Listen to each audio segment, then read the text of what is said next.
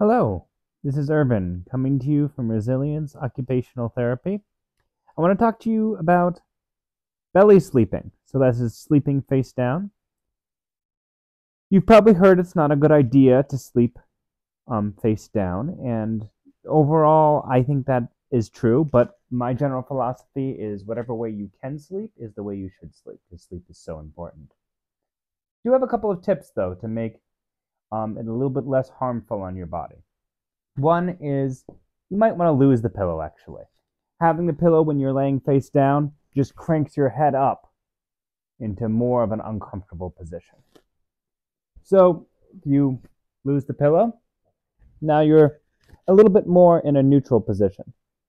Another thing is if you can, switching back and forth between sides as you sleep. So I, if I am going to sleep face down, have a tendency to want to have my head to my right, as you're seeing.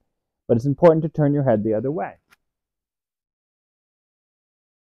That at least creates some balance in your structure for, for the sleep and maybe creates a little less strain in the neck. Another recommendation I give is to have a pillow. You've already removed your pillow from your neck. Might be nice to have that underneath your ankles. You could do more of a massage bolster or pillow of some sort. You can roll it up maybe a little bit, and that can help. The third recommendation is not to do what I'm doing right now, which is to put your arms under your head.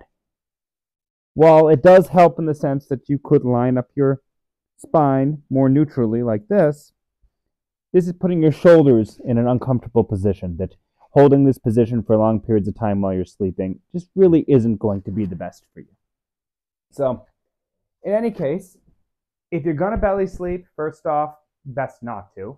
But if you're going to sleep face down, try to switch sides, get rid of the pillow for your head, maybe add it to your ankles, and try not to have your arms um, up in this position because that puts an end range at your shoulder that's really not the most comfortable.